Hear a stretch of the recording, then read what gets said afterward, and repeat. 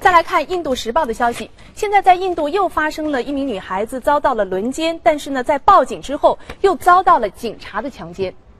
印度北方邦一名少女在遭到轮奸后，又被负责调查该案的警察强奸。本月十四号，负责调查的警官辛格将少女骗到一家旅馆强奸。少女求救后，警方赶来将辛格逮捕。辛格被捕时未穿裤子，该少女还指控另一名警察也强奸了她。不过，那名警官尚未受到惩处。